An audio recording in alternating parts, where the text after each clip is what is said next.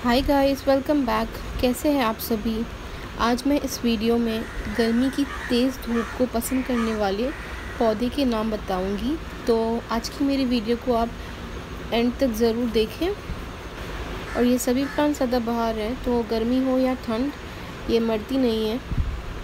जिनमें से एक है ये बोगिन आप देख रहे हैं मैंने इससे नीचे से ऊपर तक ट्रेडिस बनाया है।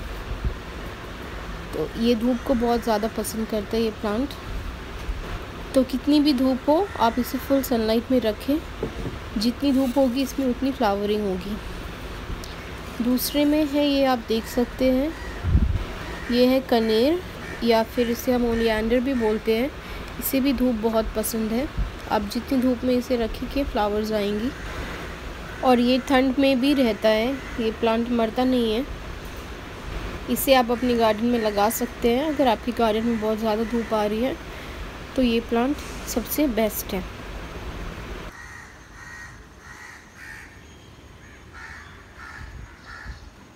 ये है एडिनियम प्लांट और ये है मेरी चांदनी की प्लांट, जिसे धूप काफ़ी ज़्यादा पसंद है।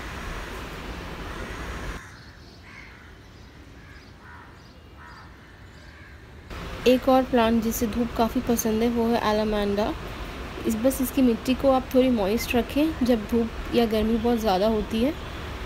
बस इसकी केयर इतनी सिंपल सी है और इसे धूप काफ़ी पसंद है।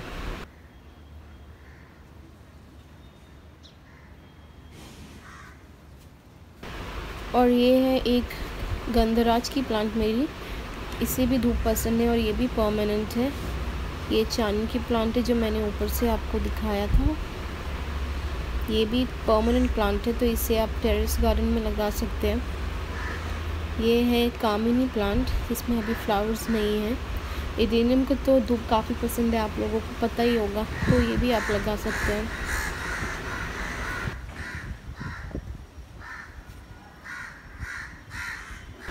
ये हाइबिस्कस की प्लांट है, ये ट्रॉपिकल प्लांट होते हैं तो इसे भी धूप काफ़ी पसंद है।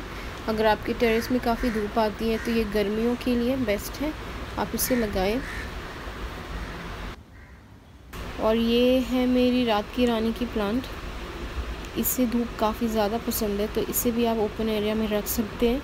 ये पूरी गर्मियों में आपको फ्लावर्स देते रहते हैं और इसकी स्मेल बहुत स्वीट सी होती है और बहुत फ्रेगरेंट हो जाती है आपकी टेरेस अगर आप इसे अपनी टेरेस पर लगाते हैं तो। फिर है ये यूफोरबिया मिली मैंने इसे कई बार अपनी वीडियोस में दिखाया है।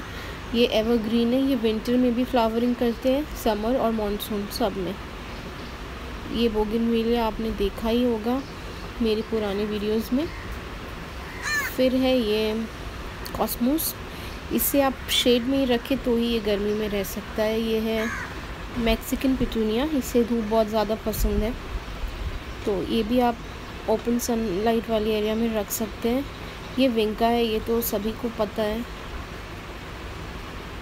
ये मेरी बोगिन वीलियाँ हैं।